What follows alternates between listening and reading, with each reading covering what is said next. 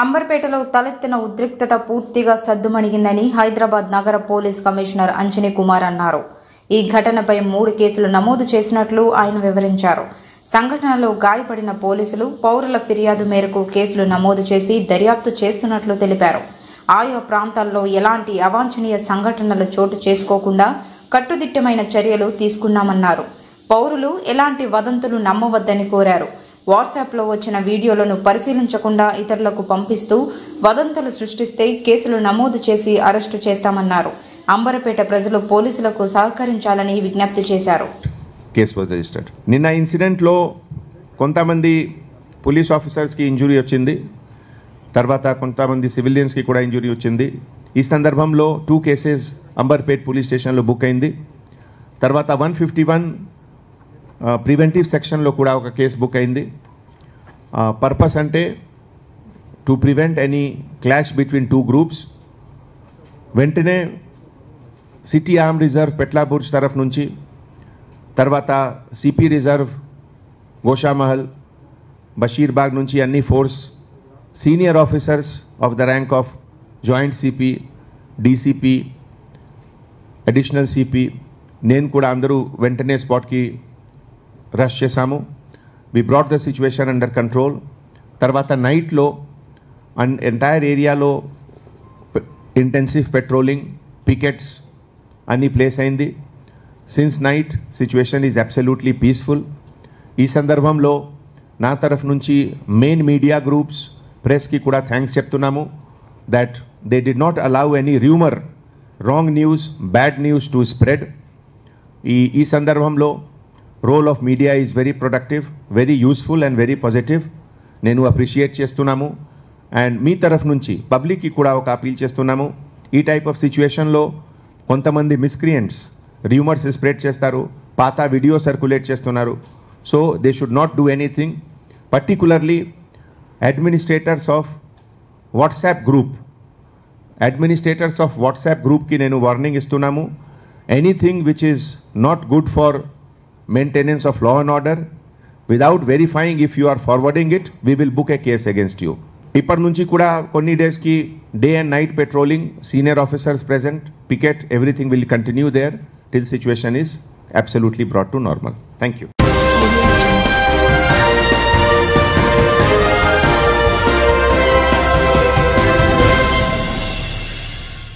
Mahatma Basaveshwara మహారాజు జయంతిని పురస్కరించుకొని తెలంగాణ రాష్ట్ర మంత్రి శ్రీనివాస్ గౌడ్ ట్యాంక్ బండ్ మీద ఏర్పాటు చేసిన విగ్రహానికి పూలమాలలు వేసి ఉత్సవాలను ఘనంగా నిర్వహించారు.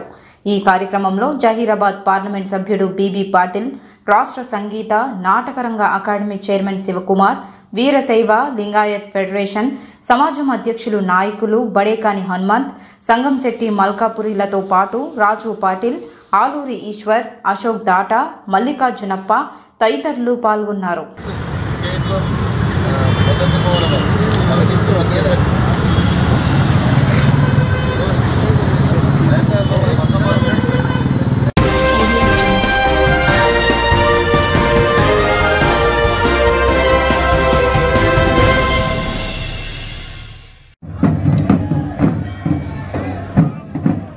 The Char Dham Yatra began on 18th April 2018 with the opening of the portals of revered Gangotri and Yamunotri shrines. Thousands of pilgrims turned up at the two shrines in Uttarkashi district to get the first glimpse of the deities as the portals were opened amid blowing of conch shells.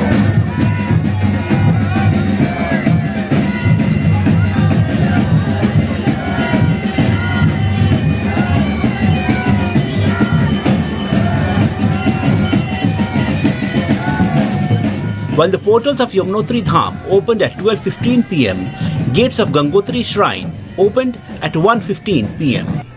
Before this, a palanquin carrying Ganga reached Gangotri from Mukha village, the abode of the deity.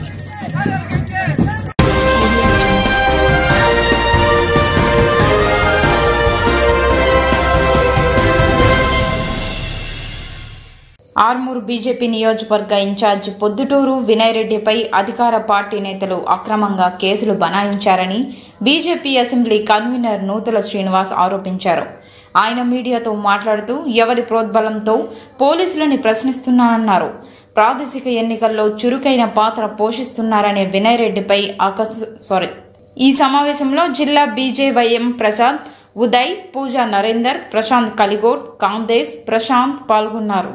Janata party కార్యకర్తలకు వెన్నంటే ఉంటూ మీ యొక్క బెదిరింపులకు భయపడేది లేదని చెప్పి హెచ్చరిస్తూ ఇంతతో రానులో మీ చమర గీతం ఈడికెళ్ళి స్టార్ట్ అవుతుందని చెప్పి మేము హెచ్చరిస్తూ ఉన్నాం.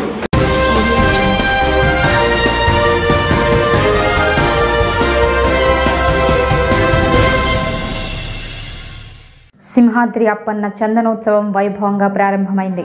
మంగళవారం తెల్లవారుజామున రెండున్నర గంటలకు ఆలయ అనువంశిక ధర్మకర్తలు అశోక గజపతిరాజు కుటుంబ సభ్యులు మొదటి పూజ చేశారు. అనంతరం సామాన్య భక్తులకు అనుమతించారు. తిరుమల తిరుపతి దేవస్థానం తరపున టీటీడీ జేఈఓ శ్రీనివాసులు పట్టు వస్త్రాలు సమర్పించారు. తెల్లవారుజామున మూడు గంటల నుంచి భక్తులకు స్వామివారి నిజరూపం దర్శనం కల్పించారు. అలాగే హోంమంత్రి చినరాజప్ప సింహాద్రి అప్పను దర్శించుకున్నారు. DGP RP Thakur Pallam Raju Avanthi Bandaru PS Lakshman తదితరులు కూడా సింహాద్రి అప్పన్నను దర్శించుకున్నారు. స్వామివారి దర్శనం కోసం తెల్లవారుజాము నుంచే భక్తులు క్యూ లైన్లలో నిలుచున్నారు. వారికి ఎలాంటి అసౌకర్యం కలగకుండా అధికారులు ఏర్పాట్లు చేశారు. యొక్క ప్రభని ప్రజల్లోకి తీసుకెళ్ళే బాధ్యత పత్రికల వాళ్ళ మీద ఉంది. స్వామివారి యొక్క ప్రభని అడ్డుకున్నటువంటి ఈవో చాలా బాధాకరమైనటువంటి విషయాలు చూపిస్తున్నాడు. ఆయన ఈవోకి నేను దీన్ని పరిపూర్ణంగా దేవాదాయ శాఖ సలహాదారుగా దీన్ని ఖండిస్తున్నాను. కారణం ఏంటంటే ఇలాంటి కార్యక్రమాలు చేయడం చాలా తప్పుతో కూడుకున్న విషయం. ఎందుకంటే స్వామివారికి సంబంధించింది ఈ సంవత్సరం ఇలా జరిగితే వచ్చే సంవత్సరం ఎందుకంటే బాగా జరగాలని చెప్పేది ఎవరు? ప్రసార మాధ్యమాలే. ప్రసార మాధ్యమాలను అడ్డుకుని ప్రసార మాధ్యమాల వాళ్ళకి సాయంత్రం వరకు ఇవ్వకుండా ఇక్కడ సంవత్సరం గురించి సంవత్సరం మొత్తం రాసేటువంటి వాళ్ళు వాళ్ళ గురించి ఇవ్వకుండా ప్రసార మాధ్యమాల వాళ్ళకి వాళ్ళకి ప్రత్యేకమైన ఏర్పాటు చేసి వాళ్ళ యొక్క లైవ్ వెహికల్స్ అన్ని పైకి తీసుకొచ్చి ఏర్పాటు చేయాల్సిన అవసరం ఎగ్జిక్యూటివ్ ఆఫీసర్ మీద ఉంది. ఎగ్జిక్యూటివ్ ఆఫీసర్ తను ఒక్కడే తెలియగలవాడు తన చేతుల మీద కానీ జరిగింది చాలా గొప్పగా చేశాయనే ఉద్దేశంలో చేస్తున్నాడు తప్పితే ఆయన ఇక్కడ ఉన్నటువంటి ప్రోటోకాల్స్ వేటిని పాటించకుండా కలెక్టర్ గారి మీద తోసేస్తున్నారు. కలెక్టర్ గారితో ఫోన్లో మాట్లాడితే కలెక్టర్ గారు నేను ఏర్పాట్లు చూసే వ్యక్తినే కానీ ఎట్టి పరిస్థితుల్లో ఈ టికెట్లు ఇష్యూస్ అన్నీ కూడా ఈవో చేయాలని చెప్పి చెబుతున్నారు. కానీ ఈవో ఎవరికీ అందకుండా పొద్దునుంచి సాయంత్రం వరకు మీటింగులు అనే విధానంతో కూర్చుని ఎవరికీ అందకుండా కొన్ని వేల మంది వెనుదిరిగి వెళ్ళిపోయినటువంటి అవసరం ఏర్పడింది. ఇది చాలా ఇబ్బందికరమైన విషయం. దీన్ని ముఖ్యమంత్రి గారి దృష్టికి కూడా పెట్టి ఎట్టి పరిస్థితుల్లో ఈవో మీద తగు చర్యలు తీసుకోవాల్సిన అవసరం ఉందని నేను తెలియజేస్తున్నాను.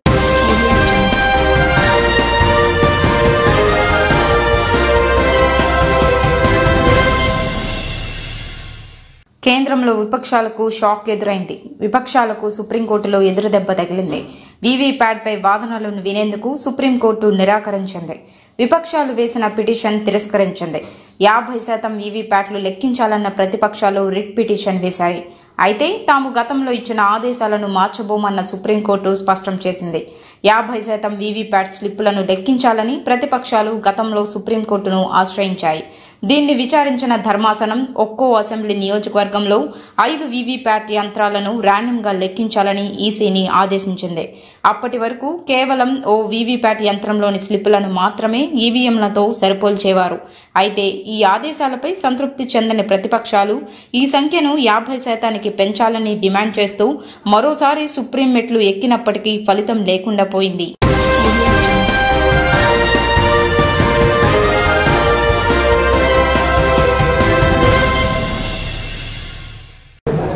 నాకు తెలిసి చంద్రబాబు నాయుడు గారి మీద మామూలుగా చెప్తూ ఉంటాం పదహారు కేసులు ఉన్నాయి పదిహేడు కేసులు ఉన్నాయని.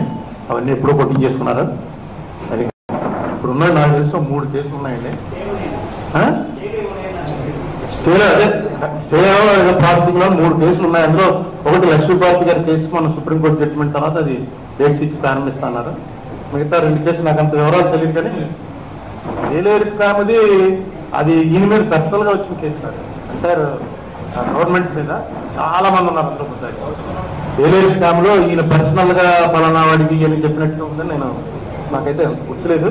దీని మీద పర్సనల్గా వచ్చినటువంటి ఆల్కహాల్ దాంట్లో వచ్చినటువంటి ఒకటి తర్వాత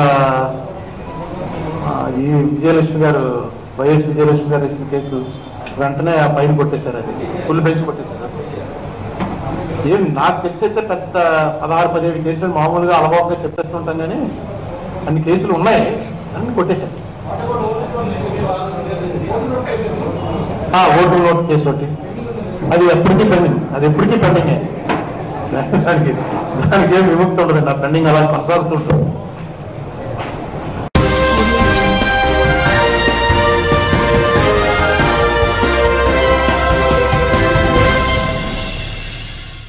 రాష్ట్రాల పునర్విభజనకు ఆనాడు బీజేపీ మద్దతు తెలిపిందని కానీ ఇప్పుడు ప్రధాని మోదీ రాష్ట్రాల పునర్విభజన సక్రమంగా జరగలేదని స్వార్థంతో మాట్లాడుతున్నారని రైతు సమన్వయ సమితి రాష్ట్ర అధ్యక్షుడు ఎంపీ గుత్తా సుఖేందర్ రెడ్డి అన్నారు. మిర్యాలగూడ పట్టణంలోని ఎమ్మెల్యే క్యాంపు కార్యాలయంలో ఏర్పాటు చేసిన మీడియా సమావేశంలో ఆయన మాట్లాడారు. గతంలో కాకినాడ సభలో బీజేపీ నేతలు ఒక ఓటు రెండు రాష్ట్రాలు అని అన్నారని గుర్తు చేశారు. ప్రధాని మోదీ రాష్ట్రాల పునర్విభజన సక్రమంగా జరగలేదని అనడం చూస్తుంటే ఆయన రాజకీయ పరిపక్వత లేని నాయకునిగా మాట్లాడినట్లు ఉన్నదని విమర్శించారు. ఐదేళ్ళుగా దేశాన్ని పాలించిన ప్రధాని మోడీ రాష్ట్రాల మధ్య ఉన్న అనేక అంశాలను పరిష్కరించడంలో వైఫల్యం చెందారన్నారు. నదీ జలాల సమస్య ఆస్తుల పంపకాలు తెలంగాణ ప్రాజెక్టులకు జాతీయ హోదా ఇవ్వడం వంటి సమస్యలను అసలు పట్టించుకోకుండా నిర్లక్ష్యం చేశారని విమర్శించారు. ఈ సమావేశంలో పట్టణ టీఆర్ఎస్ అధ్యక్షుడు తిరునగరు భార్గవ్ అన్న భీమోజు నాగార్జునచారి ఎడవెల్లి శ్రీనివాసరెడ్డి మగ్దుం పాషా పెద్ది శ్రీనివాస్ గౌడ్ విష్ణు అంజన్ రాజు జానీ తదితరులు పాల్గొన్నారు.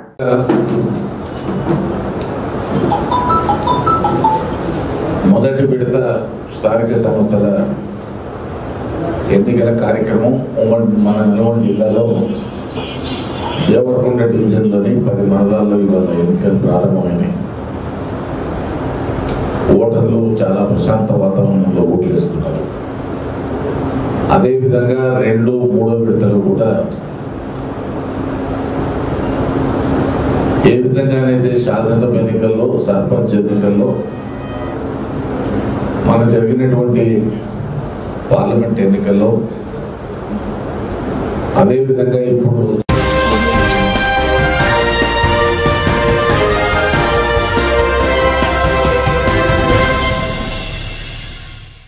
ఆంధ్రప్రదేశ్ కేబినెట్ సమావేశానికి ముహూర్తం ఖరారైంది. ఈ నెల పదిన మంత్రిమండలి భేటీకి ఏర్పాట్లు చేయాలని ఏపీ ప్రభుత్వ ప్రధాన కార్యదర్శి ఎల్వి సుబ్రహ్మణ్యానికి ముఖ్యమంత్రి కార్యాలయం సూచించింది. ఇందులో భాగంగా కేబినెట్ అజెండాను రూపొందించాలని ఆదేశించింది.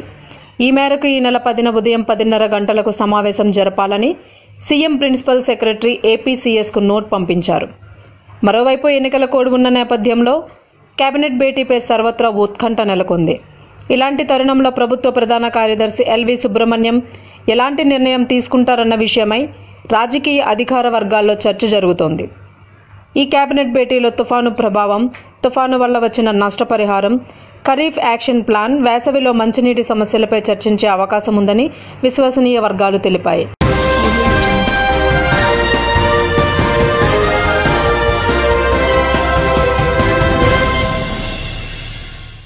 జోగులాంబ గద్వాల్ జిల్లా మానవపాడు మండలం చిన్నపోతులపాడు గ్రామంలో టీఆర్ఎస్ పార్టీ మహిళా విభాగం జిల్లా అధ్యక్షురాలు రంగు సుమలత మాజీ సర్పంచ్ రాజశేఖరరావు ఆధ్వర్యంలో ఇంటింటి ప్రచారం నిర్వహించారు. రాష్ట్ర ప్రభుత్వం అందిస్తున్న సంక్షేమ పథకాలను గురించి ఓటర్లకు వివరంగా తెలియపరుస్తూ మానవపాడు జెడ్పీటీసీ అభ్యర్థి సరితను భారీ మెజారిటీతో గెలిపించాలని ఓటర్లను కోరారు. అనంతరం మీడియా సమావేశంలో జడ్పీటీసీ అభ్యర్థి సరిత తిరుపతయ్య మాట్లాడుతూ మానవపాడు జెడ్పీటీసీ అభ్యర్థిగా తనను గెలిపిస్తే ఆలంపూర్ ఎమ్మెల్యే అబ్రహం ఆధ్వర్యంలో మానవపాడు మండలానికి అధిక నిధులు తీసుకొచ్చి అన్ని గ్రామాలను ఆదర్శవంతంగా తీర్చిదిద్దుతామని హామీ ఇచ్చారు. ఈ కార్యక్రమంలో చిన్నపోతులపాడు సర్పంచ్ ఈశ్వరమ్మ టీఆర్ఎస్ కార్యకర్తలు తదితర అధిక సంఖ్యలో పాల్గొన్నారు.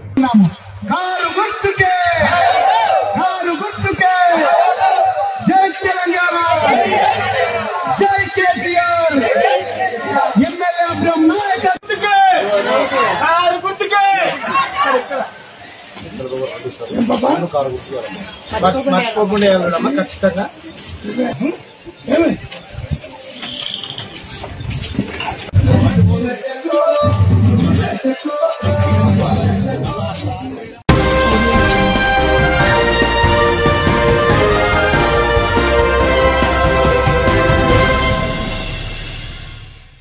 సరదాగా స్కిప్పింగ్ తాడుతో ఆడుకుంటున్న బాలుడు ప్రమాదవశాత్తు మెడకు ఉరిపడి మృతి చెందిన ఘటన బాలాపూర్ పోలీస్ స్టేషన్ పరిధిలో చోటు చేసుకుంది. మల్లాపూర్ గ్రామంలో లార్డ్ స్కూల్లో చదువుకుంటున్న పన్నెండు సంవత్సరాల బాలుడు లోకేష్ ఆరవ తరగతి చదువుతున్నాడు. ఇంటి వద్ద స్కిప్పింగ్ తాడుతో ఆడుకుంటూ ఉండగా స్కిప్పింగ్ వైర్ మెడకు చుట్టుకుని ఉరిపడి మృతి చెందాడు.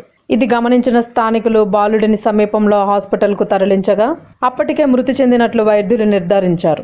బాలుడి మృతదేహాన్ని పోస్టుమార్టం కోసం పోలీసులు ఉస్మానియా మార్చుడికి తరలించారు.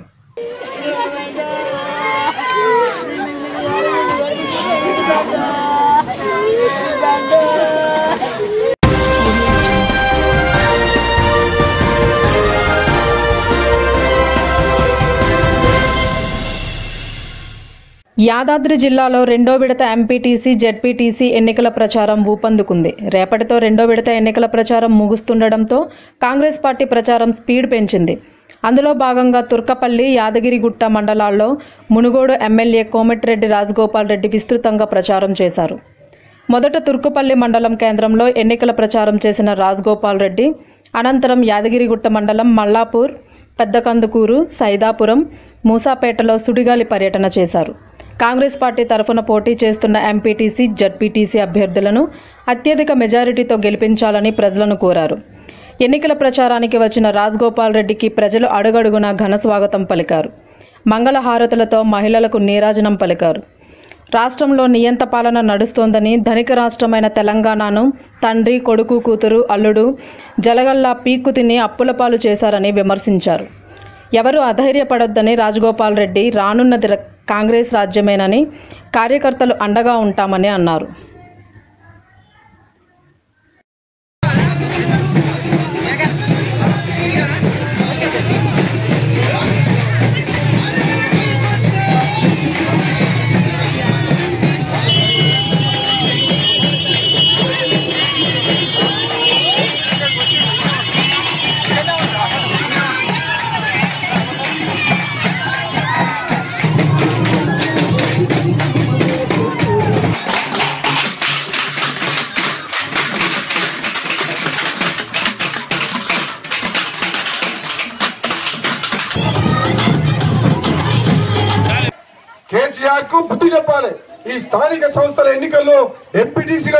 జడ్పీటీసీగా మన కాంగ్రెస్ పార్టీ అభ్యర్థులను గెలిపియండి. అంటే కేసీఆర్ ఏం బుద్ధి నిలిపోయావంటే బిడ్డ నువ్వు ఎమ్మెల్యేలు వంకపోతా ఉండు మేము గెలిపిస్తా ఉంటాం కాంగ్రెస్ వాళ్ళని చెప్పాలి. నువ్వు ఎంతమందిని వంకపోతావు వంకపో ఎంతమంది ఎంపీటీసీలను జడ్పీటీ కలిపి జడ్పీటీసీ కొనకపోతారా? రేపు జిల్లా పరిషత్ చైర్మన్ యాదాద్రిలో భువనగిరి కిల్ల మీద మనం కాంగ్రెస్ జెండా ఎగరేద్దాం. అప్పుడు అర్థమవుతుంది కేసీఆర్కు మన ముగ్గురు ఎమ్మెల్సీని గెలిపించారు. మీ అందరు చెప్తున్న సోదరులారా మాయ మాటలు చెప్పి రెండు సార్లు అధికారంలోకి వచ్చిండు. రేపు కాంగ్రెస్ పార్టీ అధికారంలోకి వస్తే రాహుల్ గాంధీ ప్రధానమంత్రి అయితే కేసీఆర్ అవినీతి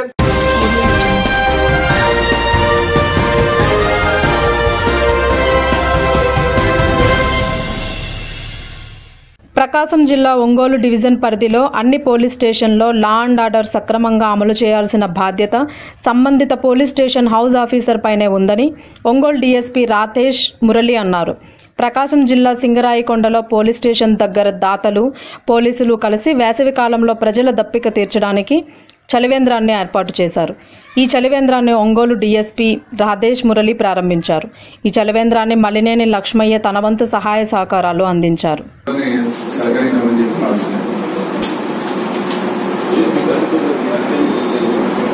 అలాగే అనుమానాస్పదంగా ఎవరన్నా తిరుగుతుంటే మాత్రం మధ్యాహ్నం పూట కానీ రాత్రి పూట కానీ వెంటనే జస్ట్ పట్టు సార్ ఒకసారి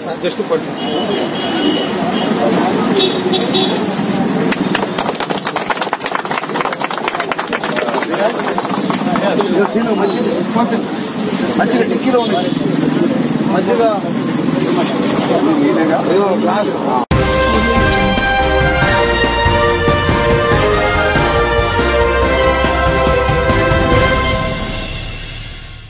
అధికార పార్టీ ఆగడాలకు అంతమయ్యే రోజు అతి దగ్గరలో ఉందన్నారు బీజేపీ పార్టీ అభ్యర్థి గెండ్యాల పండరి. నిజామాబాద్ జిల్లా ఆర్మూరు మండలం పిప్రి గ్రామంలో ఎంపీటీసీ ఒకటవ అభ్యర్థిగా ఆయన ప్రాదేశిక ఎన్నికల బరిలో ఉన్నారు. తనని గెలిపిస్తే అన్ని సమస్యలను ముందుండి పరిష్కరించేందుకు సాయశక్తుల కృషి చేస్తానని అధికార పార్టీ నేతలు బీజేపీ పార్టీ అభ్యర్థులను బెదిరింపులకు పాల్పడుతున్నారని ఆయన ధ్వజమెత్తారు. ఎవరికి భయపడేది లేదు. మా ప్రాణం ఉన్నంత వరకు బీజేపీతోనే ఉంటాం. బీజేపీని ఇడిసేది లేదు ఎవరికి భయపడేది లేదు. ఎవడు ముంగడికి వచ్చినా కానీ వారికి ధీటుగా సమాధానం చెప్పే ధైర్యం మాకుంది.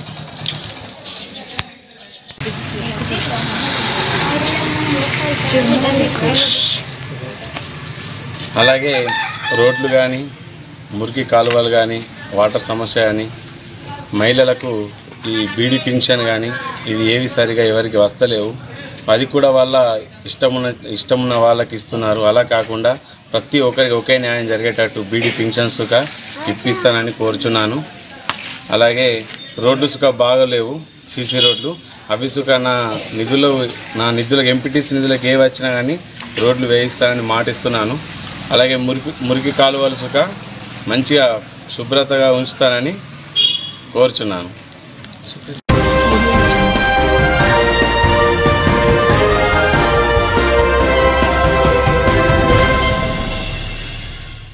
నిజామాబాద్ జిల్లా ఆర్మూర్ మండలం పిప్రి గ్రామం బీజేపీ పార్టీ ఎంపీటీసీ రెండవ అభ్యర్థిగా దేగాం ఎర్రవ్వ ప్రచారంలో ముందున్నారు. తనని గెలిపిస్తే ప్రజలకు ఎలాంటి సమస్యలు లేకుండా చూస్తానని హామీ ఇచ్చారు. మంచినీరు మురికి కాలువల సమస్యలు వంటివి వెంటనే పరిష్కరిస్తానని చెప్పుకొచ్చారు. అధికార పార్టీల దురాగతాలను దుశ్చర్యలను భయపడేది లేదని దేగాం ఎర్రవ్వ అన్నారు. గ్రామంలో ఏ సమస్యలు ఉన్నా మేము గెలిచినాక.